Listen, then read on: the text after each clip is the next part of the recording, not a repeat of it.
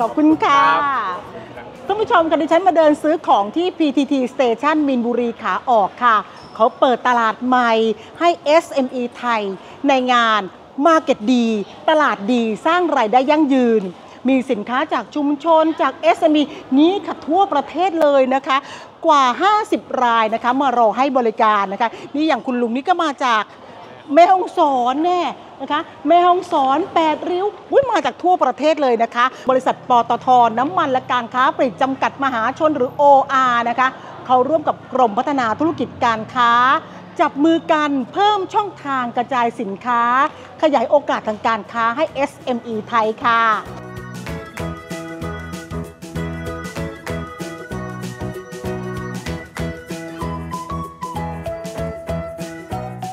โครงการนี้เป็นโครงการต้นแบบนะครับระหว่าง OR กระทรวงพาณิชย์กรมพัฒนาธุรกิจการค้านะครับ ซึ่ง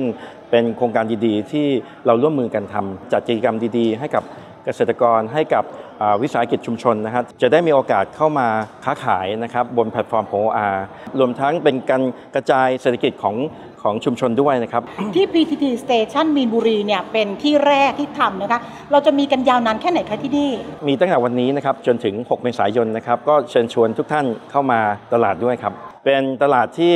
มีความคึกคัก แล้วก็เป็นตลาดที่มีของมากมายนะครับจากวิสาหกิจชุมชนต่างๆ PT Station เราเนี่ยเราเน้นในเรื่องของการเติมเต็มความสุขให้กับประชาชน รวมทั้งการเติบโตไปร่วมกันกับประชาชนครับผม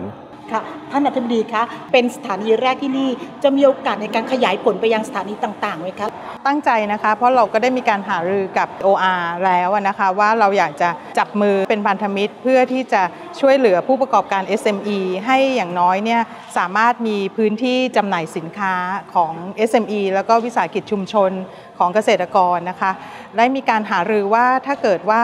ยังมีพื้นที่ว่างนะคะ ในสถานีบริการน้ำมันนะคะ เราก็อยากจะใช้พื้นที่ว่างนั้นให้เป็นประโยชน์ โดยการให้โอกาส SME ในการประกอบธุรกิจค่ะ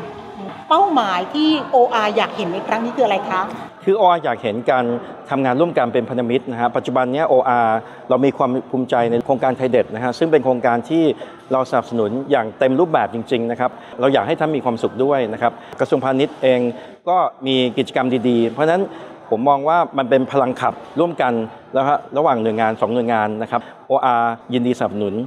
ย้ำกันอีกครั้งนะคะ Market ดีที่ PTT Station มินบุรีขาออกนะคะเขามีกันตั้งแต่วันนี้นะคะ ไปจนถึง 6 เมษายนเลยนะคะพฤหัสศุกร์เสาร์นะคะ ก็มาช้อปปิ้งกันได้ที่นี้ค่ะ และท่านผู้ชมสามารถรับชมรายการย้อนหลังได้นะคะ ทาง Facebook Fanpage ทาง YouTube ที่ขึ้นบนหน้าจอนะคะ แล้วฝากกดติดตาม TikTok สร้อยฟ้าพลังงานด้วยนะคะ วันนี้หมดเวลาแล้ว สวัสดีค่ะ